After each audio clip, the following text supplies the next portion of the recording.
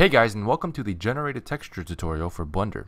In this video we're going to go over exactly what a generated texture is and how to use it in a very flexible way in a shader. Now you may have heard the term procedural before. Procedural and generated are practically synonymous. You can use them interchangeably.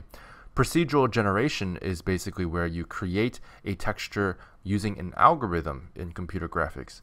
So basically what that means is you can get a texture that is not only very flexible but also it's infinitely scalable. You have an infinite resolution. There's no pixels or anything. It's all algorithm based. And it's much more efficient in terms of its file size and stuff like that. It doesn't take up a lot of data. So if you want to create your own procedural textures, you're going to have to learn how to do the basics. So let's go ahead and go over that real quick.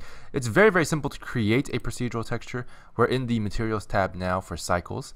And you'll notice that we have a basic diffuse material. If you want to create a procedural texture and add that to the material, we have a little button right here next to the color bar, and that will give us the texture option. So all of these textures here provided by Cycles are generated, except for image texture and environment texture, I believe. These two are literally the definition of non-procedural. Everything else is procedural here. So we have a noise texture, which is pretty, pretty standard. And we have a Voronoi texture. Voronoi texture is also pretty standard. It's very common. Let's go ahead and use the Voronoi texture real quick and show you what this looks like. I'm going to go ahead and hit Shift Z to show you exactly what the pattern is. And you can see it kind of looks like an underwater material. Kind of looks like if you're underwater looking up or if you're if you have those water reflections or something like that. So that's kind of what Voronoi does. You can also change the scale up a little bit. I, I can change this to 10 and you'll notice that the cells get smaller. And the scale doesn't affect the size of the texture per se, but affects the parameters that go into generating that texture. So you're never just, just going to get a scale of bigger or smaller.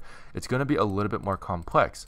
You'll notice that the cells and stuff, they actually sort of evolve a little bit as I drag this. They don't just scale up or down, they actually change. So you can even animate this parameter if you wanted to create a little bit of a randomness to it.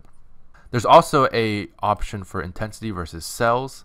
This is just a subsection of Voronoi. So this is a pretty cool look as well, kind of asphalty.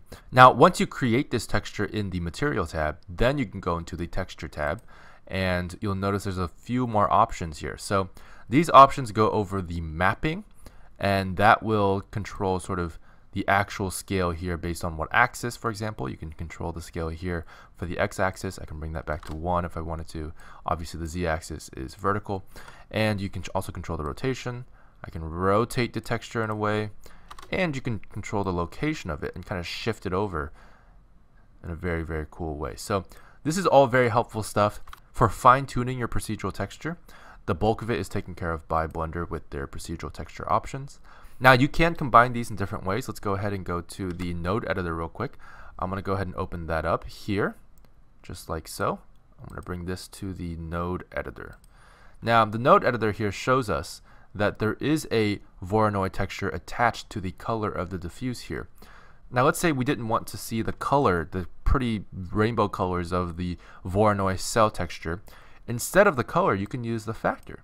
And that will actually simply be the values of the texture instead of the color of the texture. Value meaning grayscale. So it'll be a grayscale version of the texture. That's a very useful thing to have. And you can also use these textures for displacement, for example. Now if I zoom in here, you can tell that there is a slight amount of displacement here which allows the texture to kind of pop out a little bit. So there's a lot of cool things you can do with these textures. It's very, very flexible. And that's it for generated textures in Blender.